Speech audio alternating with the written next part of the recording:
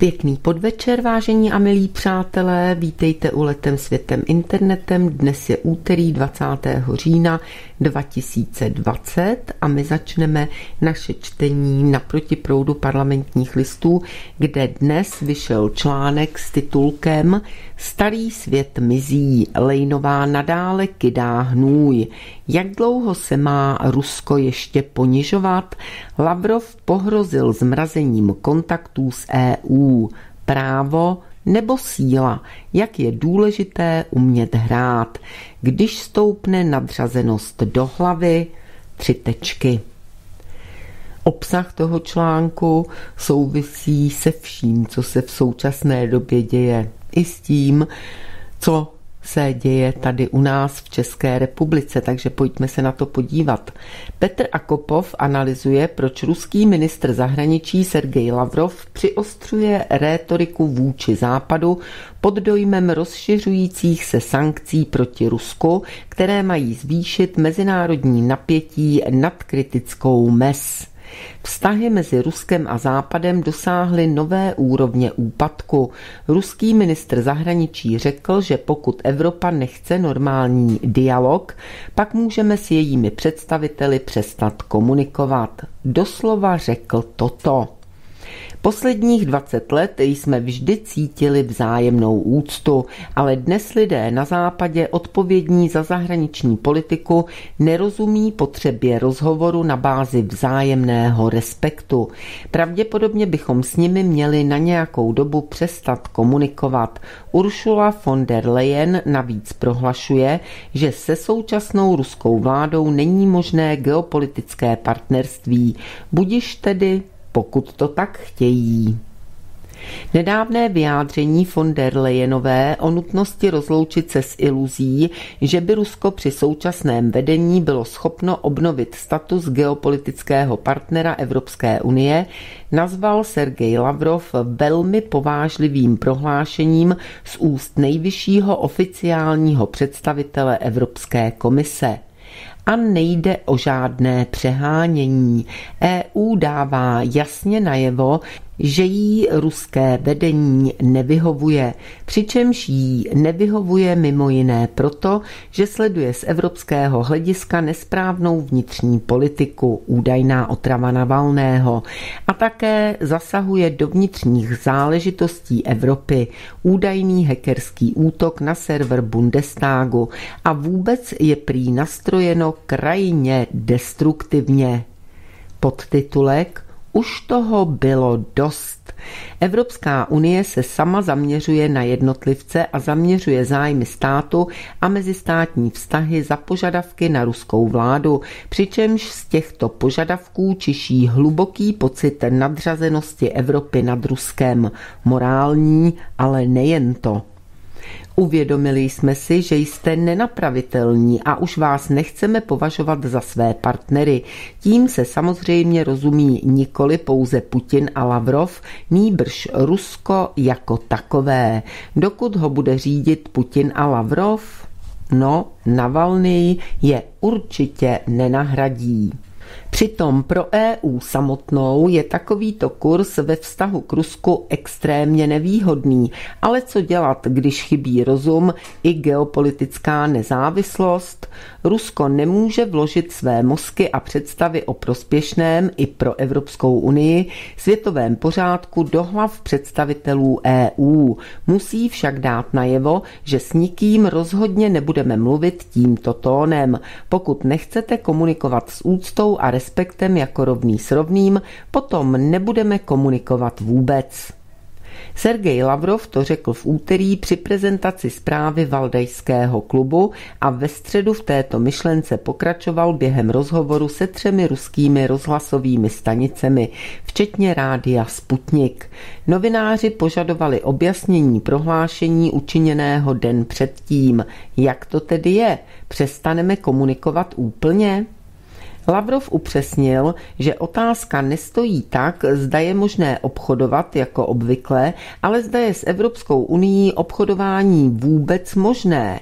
S tou též unii, která nikoli blahoskloně, ale zcela povýšeně hledí na Rusko a vyžaduje po nás nést odpovědnost za všechny hříchy, kterých jsme se podle názoru Evropské unie dopustili. Jsem přesvědčen, že se nemáme za co ospravedlňovat. To byla slova pana Lavrova. Podtitulek Na západu už nesejde, Nemluvíme tu ale o ekonomických vztazích. Lavrov nepředpokládá jejich zničení. Řeč je o politickém dialogu, který se mimochodem netýká pouze čistě rusko-evropských vztahů, ale obecně mezinárodních záležitostí, včetně nejdůležitějších krizových bodů. Rusko bude přirozeně udržovat takový dialog dvoustraně s jednotlivými evropskými zeměmi, ale může ho odmítnout s Evropskou unii, která nám říká, v zásadě jste ještě nedospěli natolik, abyste mohli být geopolitickým partnerem Evropské unie. Soudím, že uhýbat a ponižovat se je mimo naši důstojnost. Nemyslím, že se musíme neustále ohlížet na to, co o nás Západ říká.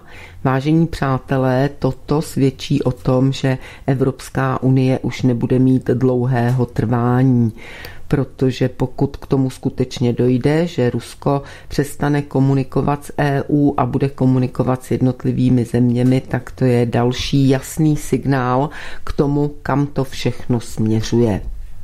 Pokračujeme v článku. Názor, že bychom se neměli řídit tím, jak nás hodnotí na západě, není nikterak nový ani pro politické vedení země, ani pro veřejné mínění. Dávno jsou pryč ty šílené časy, kdy se Rusko očišťovalo před pohledem v uvozovkách civilizovaného světa v naději, že bude v uvozovkách přijato do rodiny. Nyní o tom mluvit už není třeba.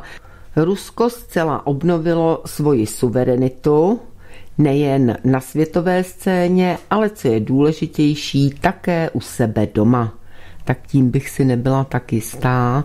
Nicméně pracuje se na tom a to velmi intenzivně, ale zase odpůrci a nepřátelé Ruska a vůbec celého světa a všeho lidského v něm pracují velmi pilně a intenzivně na tom, aby to trvalo co nejdéle, to obnovení suverenity Ruska a aby to pokud možno ten proces, tu suverenizaci Ruska, aby pokud možno ještě zvrátili, házejí pod nohy nejen klacky, ale celé klády celému Rusku a především krokům Vladimíra Vladimíroviče Putina. Pokračujeme. Nejde jen o to dát do pořádku zemi a vertikální moc, ale také o návrat ke svébytnému světonázoru, včetně geopolitického. Jinými slovy, my a lidé, kteří řídí naši zahraniční politiku, vycházíme nejen z našich národních zájmů, ale tyto zájmy také samostatně chápeme a formulujeme na základě naší vlastní historie a tradice, na základě našich hodnot a zkušeností. To je klíčový atribut velmoci, ale také každé suverénní země. Podtitulek oplácet stejnou mincí? Rusko ale neprosazuje své zájmy dobře, chová se příliš plaše, neustále apeluje na mezinárodní právo. Podobné výtky ovšem často zaznívají na adresu naší zahraniční politiky a jejich autorů. Také během zmíněných rozhovorů Klavrovovi dolehly návrhy jednat tvrději, otevřeněji a agresivněji. Pokud na nás Západ stále kydá hnůj, potom zasáhněme jako první a přestaňme se odvolávat na mezinárodní právo, na všechny ty OSN. Lavrov namítl, že Rusové jsou stále ještě zdvořilí a uvážliví lidé. A jsem přesvědčen, že náš postup, jak se vymanit ze situace, kdy se stále ohlížíme na západ, co si o nás tam budou myslet, by měl zůstat v mezích mezinárodního práva. Přesně tak, vážení přátelé.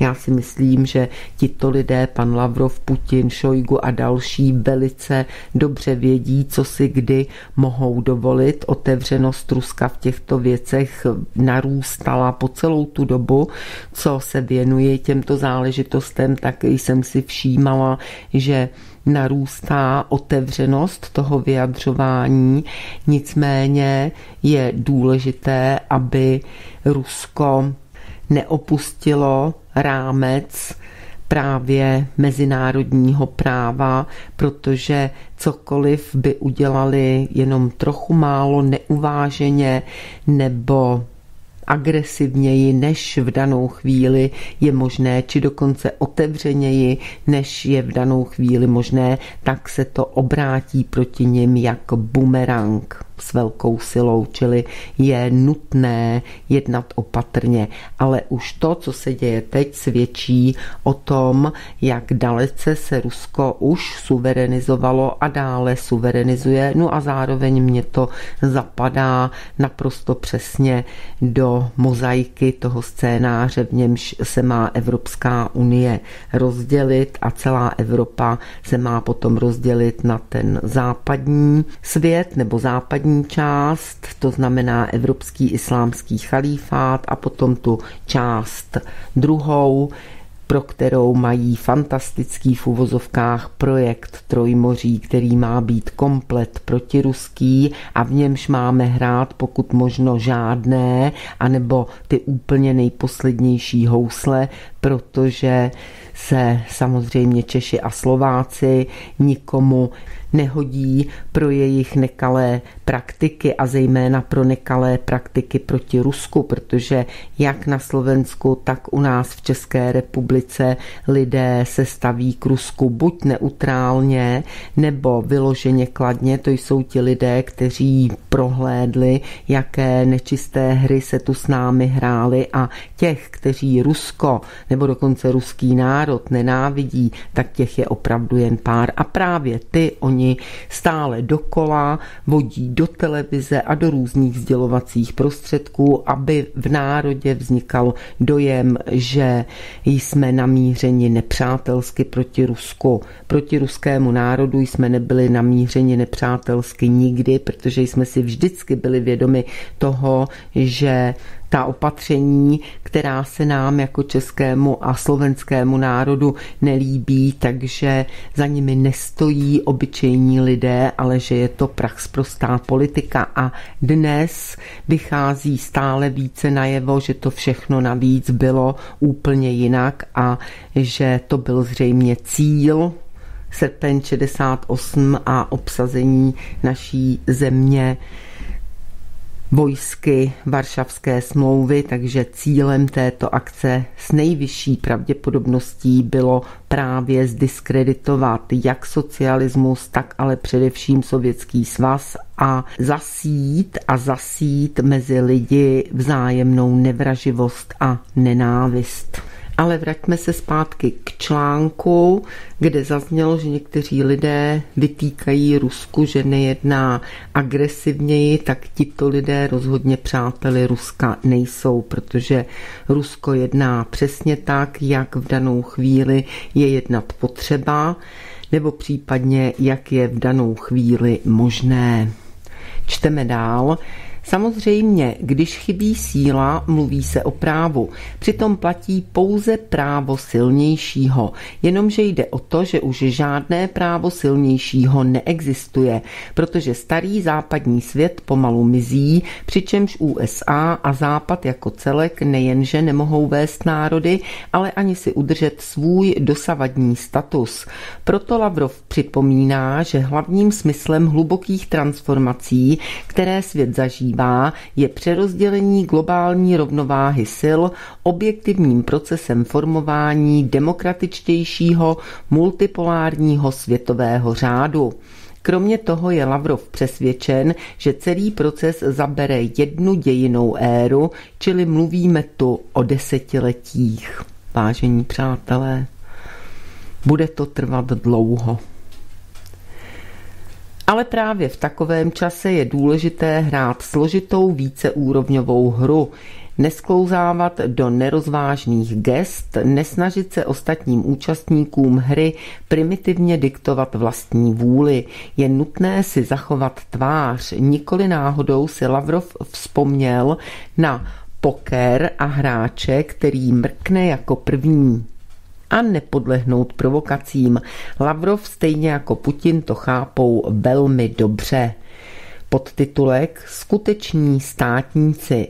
Vyvést nás z rovnováhy a to nejen přímými útoky na Ruskou federaci ve všech možných a myslitelných sférách cestou bezohledné konkurence, nelegitimních sankcí a tak podobně, ale také rozkolísáním situace kolem našich hranic a nedopřát nám soustředit se na konstruktivní činnost, to je naprosto zjevná snaha našich západních partnerů partnerů a přeze všechny podrážděné lidské instinkty, přes všechna pokušení odpovědět na principu na hrubý pytel hrubá záplata, jsem přesvědčen, že se musíme držet základů mezinárodního práva.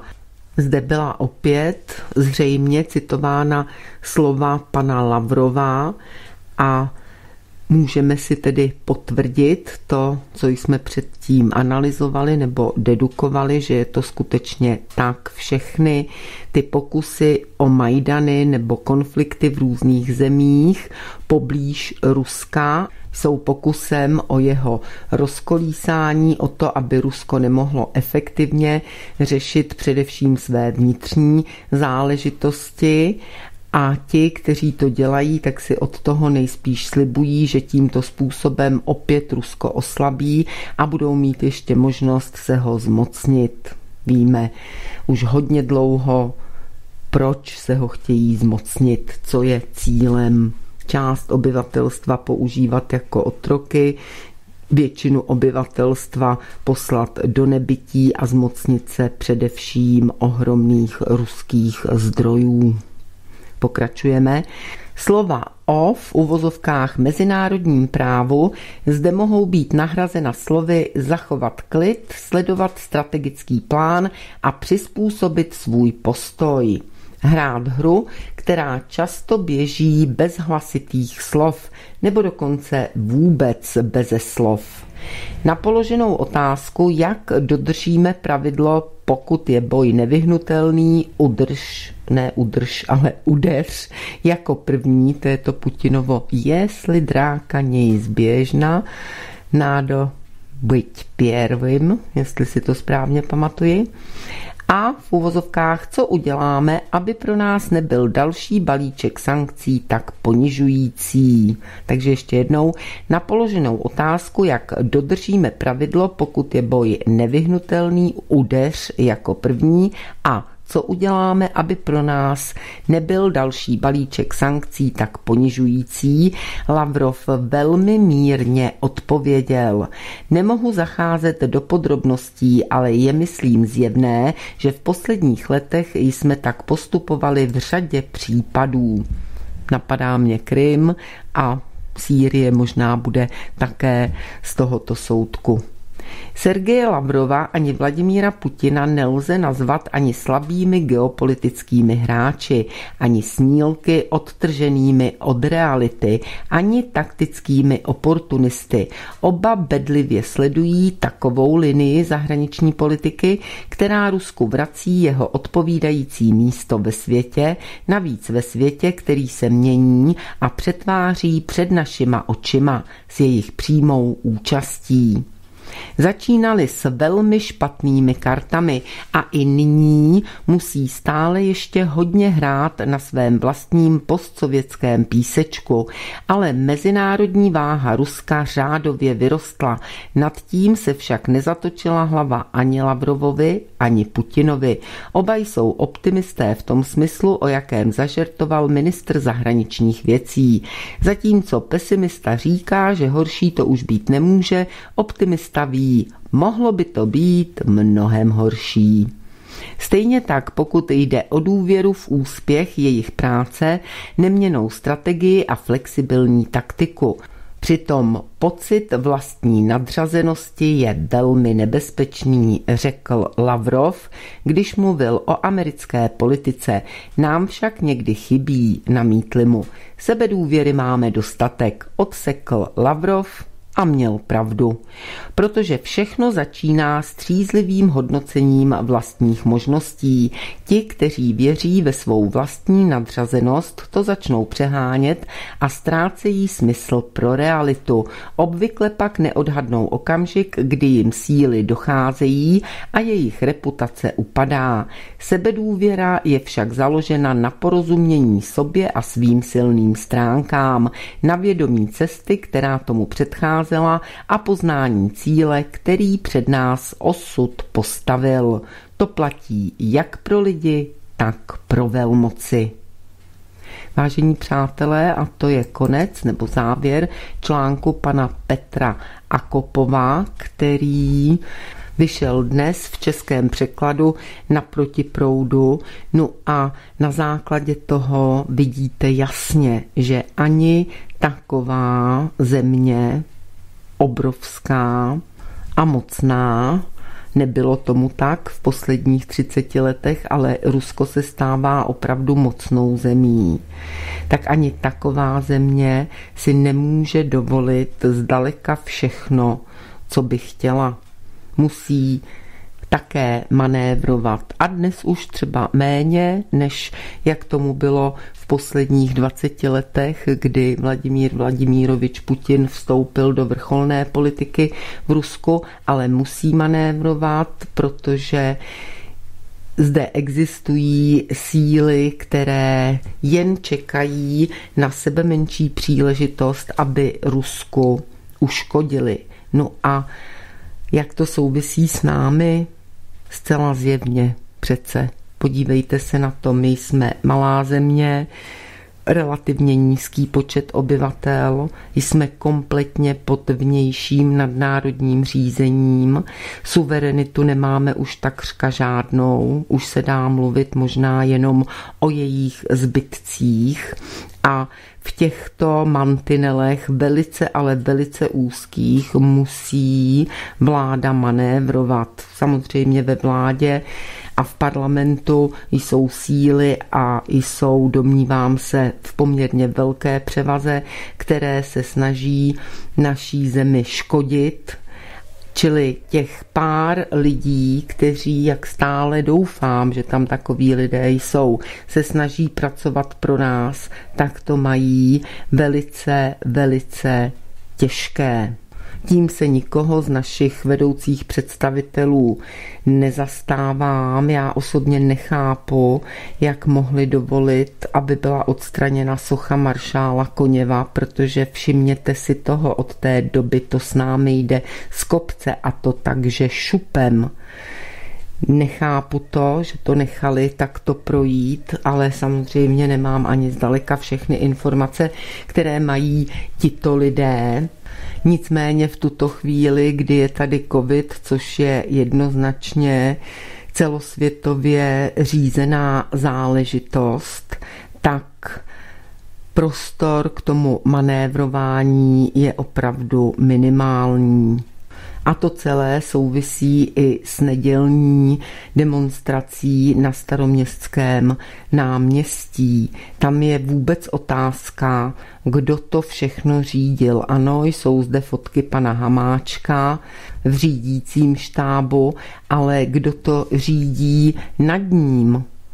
Všimněte si, že na Slovensku den předem se stalo totéž. To znamená, že to je koordinované. Ty dvě akce byly koordinované. Kdo je koordinoval? Odkud to vychází? No samozřejmě, tedy s největší pravděpodobností domnívám se z bažin, ale přes koho to řízení jde? Já osobně jsem si to hned od začátku vyhodnotila tak, že jako ve vládě, jako v parlamentu, jako všude v těch organizacích, kde jsou nějací vlivní lidé, probíhá boj a že je to v principu stále stejný boj. Globální prediktor versus bažiny.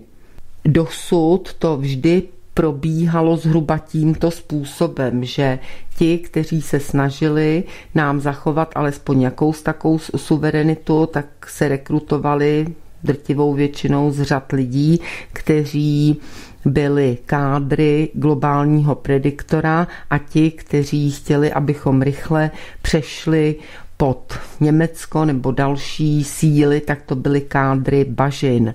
Bohužel se obávám, že v jistém okamžiku, berte to čistě jako úvahy, jenom nad tím přemýšlím, se situace dostala do bodu, kdy pokud se týče nás a Slovenska, zájmy bažin a globálního prediktora jsou velmi podobné. V čem jsou velmi podobné, pokud ne stejné? No v tom, co nejvíce naší republiku oslabit a jak nás nejsnáze oslabí, no když nás zničí co nejvíce ekonomicky a když nás zničí co nejvíce psychicky a případně i zdravotně. Takže plány typu celoplošné testování nebo celoplošná vakcinace zcela zapadají do zájmů jak globálního prediktora, tak bažin. Co už ale myslím si, do zájmu globálního prediktora nezapadá, je to, abychom se stali další spolkovou zemí. To určitě, nebo určitě domnívám se, v plánu být nemůže, protože my máme být porobeným územím v rámci Trojmoří. Takže opět baborať, kdo zatím stál, bažiny nebo prediktor, nebo ty síly, které vyprovokovaly nebo snažili se spíš vyprovokovat nepokoje, sloužili oběma dvěma těmto pánům. Těžko říct, ono se to za nějaký, za nějaký čas vyjeví. Nicméně ten článek, který jsem vám četla včera, respektive jeho úvod ze Zíd Deutsche Zeitung, kde se obouvali do pana Zemana a do pana Babiše, že nezvládají situaci a podobně, ten by skutečně svědčil i o tom, že globální prediktor také není spokojen, z čehož se dá vyvozovat, že možná, doufejme, byla bych velice ráda, kdyby tomu tak bylo, tito dva lidé se berou stále ještě v mezích toho manévrování, jak o něm hovořím, za zájmy našeho národa. Ale každopádně, ať už je to tak či onak, tak každopádně nemá moc smysl teď obvinovat naši vládu, protože ta vláda je v kleštích a jsou tam lidé, kteří jsou přímo řízeni a přímo a bez odporu vykonávají povely svých páníčků a potom doufejme, stále ještě jsou tam lidé, kteří se snaží, aby ty škody pro náš národ byly alespoň co nejmenší. A já se domnívám, že tyto dvě síly se střetly na staroměstském náměstí v neděli. A teď si můžeme položit otázku, čí ruce to byly, které vyprovokovaly konflikty byla to skutečně policie, na kterou všechno ukazuje, nebo to byl někdo jiný, jiné síly? Říká se jim spíše služby. A proč sázím spíš na tyto služby než na samotnou policii? Protože za A. Tajné síly vždy využívají fanoušky fotbalové a hokejové a podobné fanoušky ke svým cílům a zejména k tomu, aby rozpoutávali nepokoje. Za B.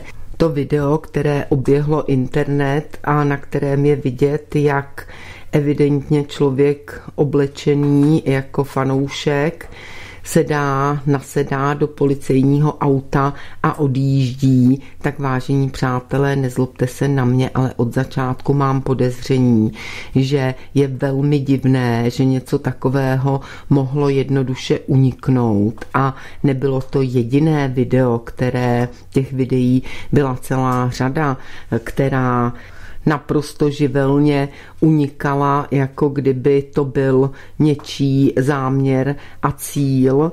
De facto pošpinit policii nebo hodit to na policii. Netvrdím, že to tak bylo, ale dávalo by mi to smysl. No a k tomu ještě připočtěme to, že pan prezident Zeman již několikrát odmítl povýšit pana Koudelku na generála a že dokonce chystá jakousi zprávu, která, jak řekl sám pan prezident, má argumentačně podpořit toto jeho rozhodnutí.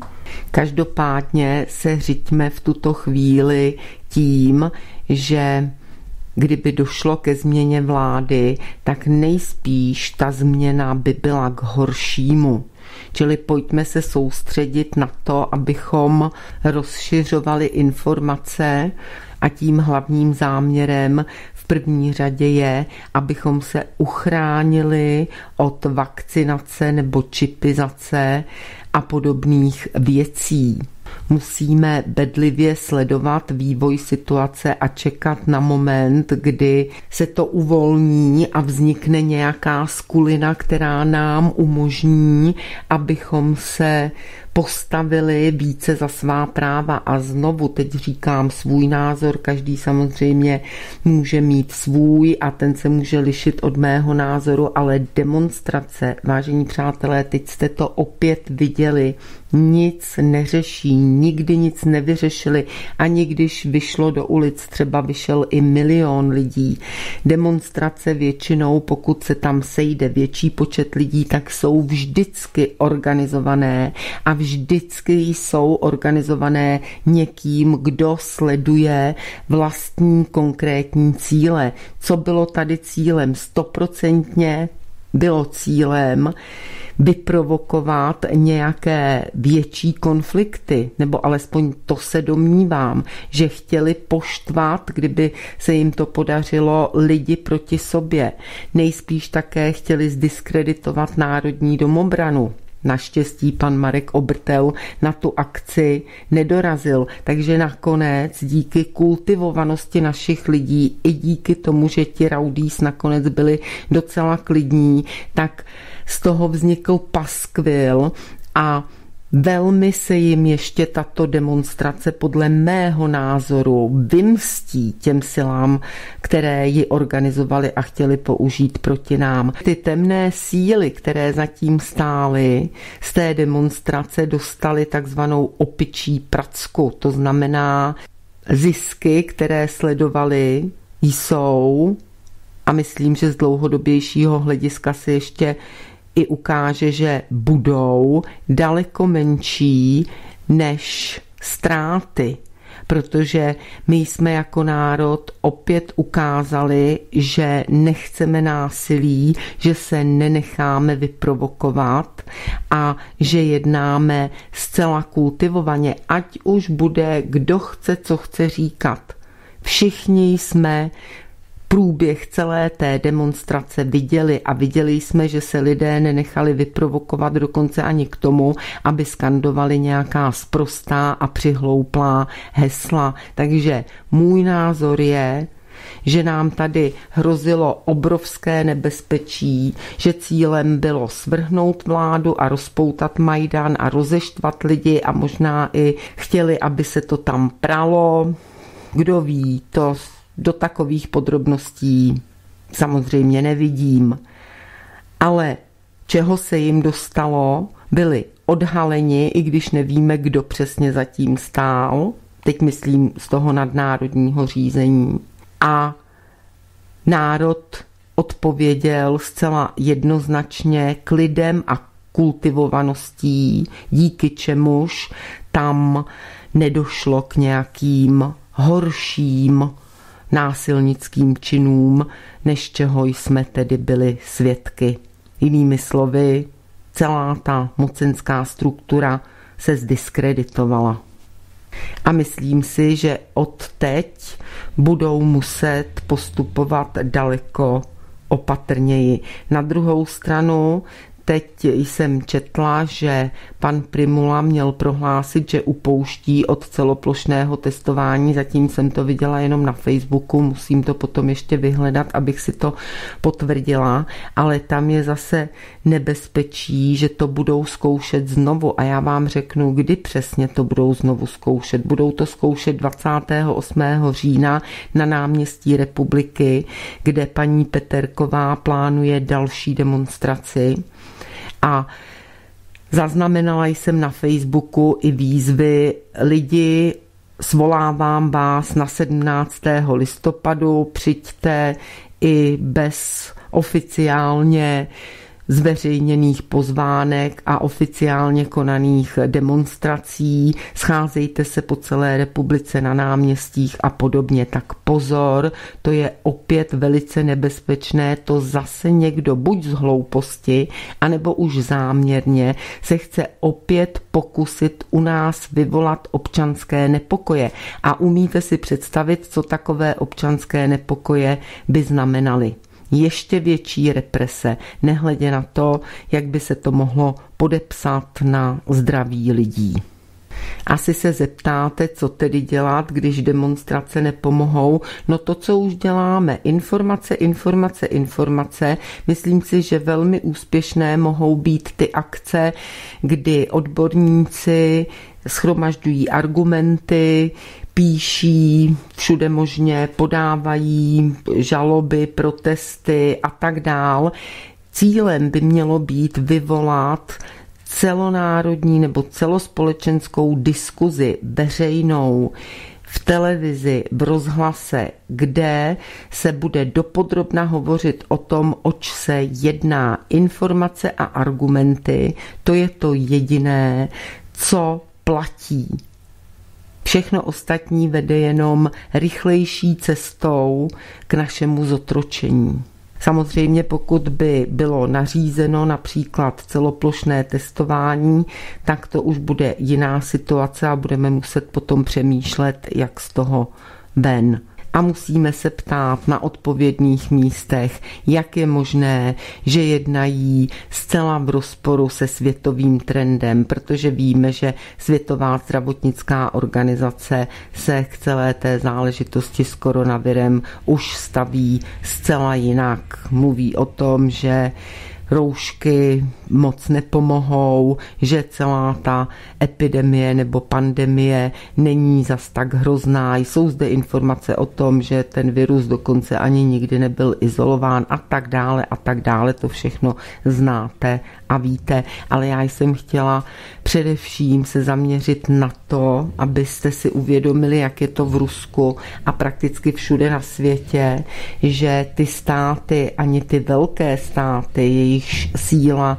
je rozhodně větší než je naše, nemohou bohužel za této situace, kdy jako rakovinou je celý svět prorostlý zrádci, kteří slouží nějakým pomateným takzvaným elitám, které se rozhodly, že jim svět patří, tak není zkrátka a dobře možné dělat to, co by v danou chvíli se třeba zdálo logické a že na to ten stát má právo. No a když si to nemůže dovolit ani Rusko, tak tím méně si to může dovolit naše republika.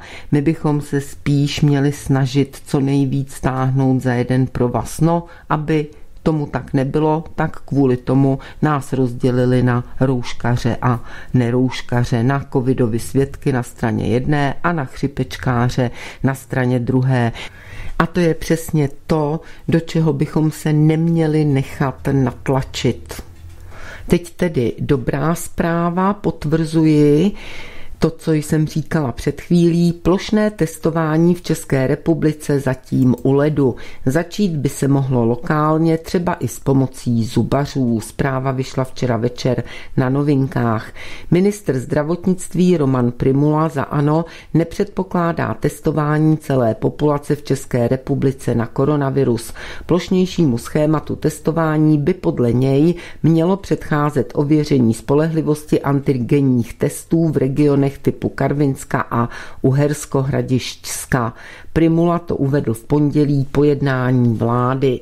Domnívám se, že i toto je v souladu s tím, že demonstrace v žádném případě nesplnila plánované úkoly a nesplnila plánovaný účel a skutečně ještě jednou díky všem, kdo na ní vůbec nebyli a díky i těm, kteří tam byli, ale byli tak disciplinovaní a kultivovaní, že nemohly být plány naplněny a díky také panu Marku Obrtelovi, který se nakonec rozhodl tam nepřijít.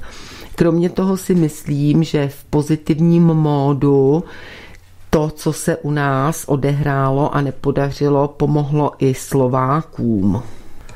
Celoplošné testování na koronavirus má být dobrovolné. Matovič Těm, kteří se nezúčastní, zůstanete 10 dní doma. A co bude potom, pokud zůstanou doma tisíce lidí? Za každého pozitivního má mít odběrný tým příplatek 20 eur. Čili zdá se, že pro tuto chvíli, vážení přátelé, pouze pro tuto chvíli, abychom se neradovali předčasně, musí to řízení které stálo za těmito dvěma akcemi a které nás a Slováky chtělo odrovnat, tak musí vzít zpátečku. Takto jsem to kontrolovala i s kamarádem Jindrou Pavlisem a shodli jsme se na tom. Samozřejmě jsou to dedukce, jsou to analýzy, ve kterých vycházíme z informací, které jsou nám dostupné a nemůžeme si činit a ani nečiníme nárok na neomylnost. Znovu ještě vás při této příležitosti poprosím, zvažte, pokud chcete jít na jakoukoliv demonstraci, ta rizika, která to přináší, jsme si vysvětlili a zejména tehdy, kdy ta demonstrace má propagaci, pokud se o tom zmiňuje například televize, tak je jasné, že je to někým organizováno s nějakými cíly, které rozhodně nesledují prospěch účastníků demonstrace. Tak to vždycky bylo a je. Konec konců ti z vás, kdo jste chodili na demonstrace v letech 2015 nebo 16, 17, tam už to potom úplně skomíralo, tak víte, jak se organizátoři snažili a většinou se na ty akce nedostavilo více než třeba 300 lidí. Víc lidí se dostavilo jenom zcela výjimečně. Takže tam, kde je demonstrace propagovaná a je předpoklad, že se sejde hodně lidí, tak buďte velice, velice ostražití. Tak vážení přátelé, teď pro vás mám jednu opravdovou bombu, která by možná leckomu mohla srazit vás. Na Facebooku včera v noci se objevilo video, které někdo pořídil chvilku předtím, než pan Primula a jeho osm v uvozovkách statečných promluvili k národu tou smuteční pohřební řečí. A na tom videu se všichni ti lidé spolu náramně baví a velmi rozverně se smějou.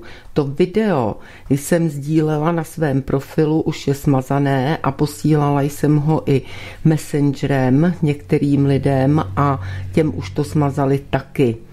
Naštěstí jsem řekla Martinovi Dukátovi, ať to stáhne, ale než se s ním spojím, tak jsem objevila to video ještě tady na něčích stránkách, ale už neozvučené, ale alespoň je tam přepis toho, co pánové, kteří potom tak vážně vystoupili před celý národ s tím, v jak vážné jsme situaci, tak co si mezi sebou říkali. To vám teď přečtu a potom vám pustím audio záznam, kterému ale není příliš rozumět. Takže teď jdeme na to video, které ale už je bez zvuku. A tak není. Před chvílí mi ten zvuk se nechtěl spustit a teď najednou to jde. Tak připravte se, vážení a milí. Jedeme z kopce. Takže ono tam, ono tam občas chybí slůvko nebo něco, pak je těžký se na to, nevíme, co říkají, ale velmi aktivní je tam ředitel Motolské nemocnice. Ten se směje nejvíc a nemá na sobě roušku. A to neříkáme proto, tam někdo zase hovoří, že seš ministr. A všichni se smějí.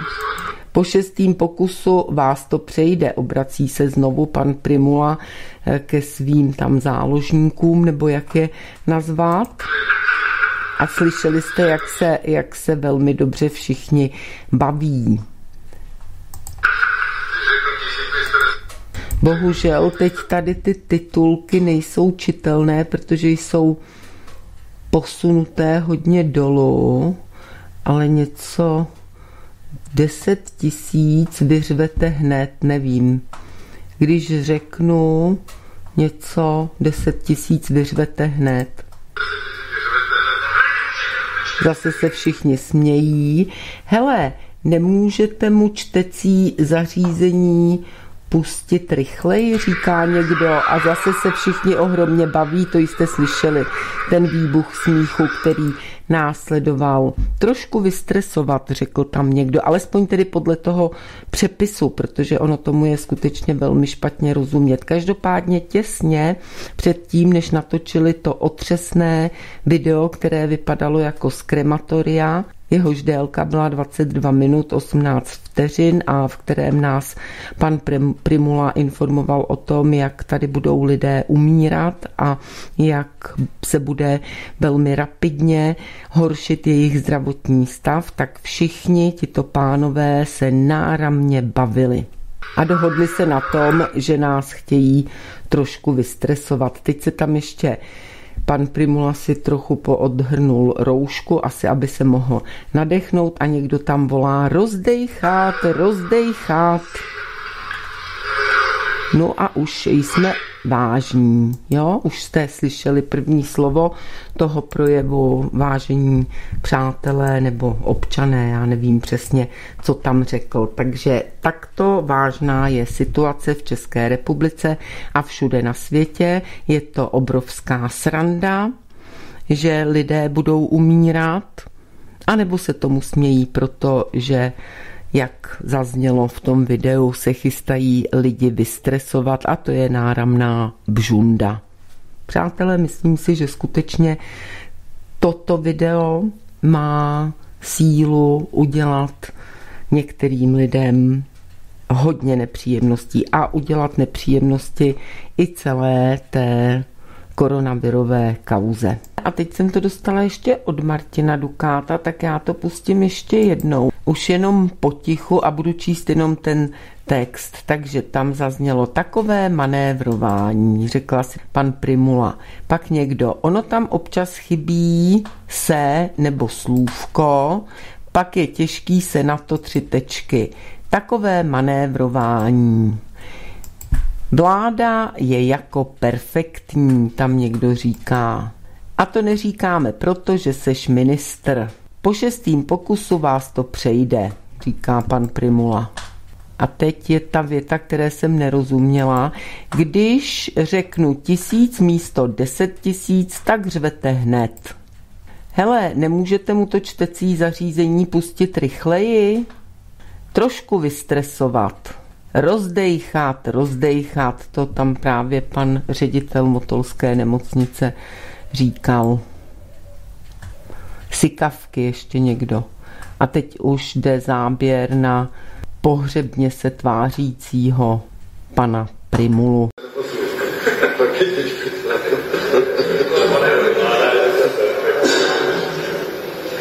A to neříkáme, protože jsi ministr. No, po šestém pokusu když řeknu tisíc místo deset tisíc, vyřvete hned. Ale nemůžete mu to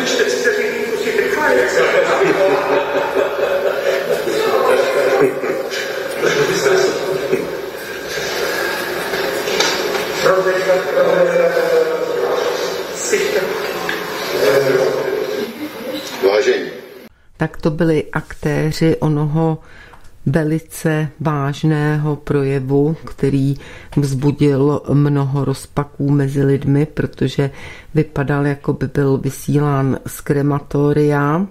A právě takovými informacemi a ideálně i důkazy. Nejlepší je v tomto případě video, ale jak říkám, bylo mohutně mazáno na Facebooku. Možná ale i to audio, které jsem přemluvila, by vám v tomto mohlo pomoci. Tak právě takovéto informace a argumenty jsou žádoucí pro nás, pro všechny, když se snažíme lidem vysvětlovat, o co tady vlastně jde přičemž nikdo z nás nepopírá existenci ani nebezpečnost COVID-19. To si myslím, že snad není už potřeba zdůrazňovat, protože jsme o tom hovořili mnohokrát, zejména kolega Vladimír Kapal to vysvětloval několikrát a myslím si, že jasně a hlavně také důrazně. Ještě k té demonstraci 18. října je zajímavé, že hned následující den, tedy 19. října, se v Talinu v Estonsku konal virtuální summit Trojmoří. Před začátkem toho summitu náměstek polského ministra zahraničí oznámil, že jde o mimořádný summit. Přičemž po letech převážně politického projektu se z této iniciativy stane hospodářský projekt. USA na samitu přislíbili až jednu miliardu eur této iniciativě, pokud by 12 zemí Trojmoří doplnilo další 3,5 miliardy eur. A důležité je, že před rokem vložili peníze pouze Polsko a Rumunsko z 12 zúčastněných států. Od pondělka začaly vkládat další státy, takže teď už tam vložilo finance devět států. Estonsko, Polsko, Rumunsko, Lotyšsko, Maďarsko, Bulharsko, Litva, Slovinsko a Chorvatsko. A my jako Česká republika a i Slovensko nebo ani Slovensko jsme do společného fondu nepřispěli. Z toho by se dalo vyvozovat, že se nám ani Slovákům nejspíš do Trojmoří příliš nechce. A navíc, když byly ty samity týkající se Trojmoří, ty jsou skutečnily už čtyři, předtím, tak třikrát tam pan prezident Miloš Zeman nepřijel. Vždycky tam za sebe někoho poslal, až na tom posledním samitu byl zřejmě díky tomu, že na něj byl vyvíjen nějaký velký tlak. Demonstrace, které se konaly u nás a na Slovensku, mohly mít souvislost i například s tímto, s touto neposlušností, nevíme samozřejmě, ale jde o to sledovat ty události a vyhodnocovat je, protože nemusí být všechno tak, jak to na první pohled vypadá. A já jsem od samého začátku byla přesvědčená o tom, že ty demonstrace, které se teď zase množí jako houby po dešti, takže jejich cílem je vyměnit naši vládu, která tedy toho pro nás příliš dobrého nedělá, ale přece jen je asi v současné době tím nejmenším zlem, tak ji vyměnit za nějaké lepší a rychlejší koště, které by naši